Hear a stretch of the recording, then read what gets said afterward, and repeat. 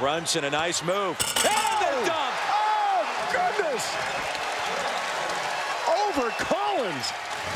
All game long, Jalen Brunson has been creating offense for his teammates. Here he knows I can't lay this up, so I'm going to throw it down.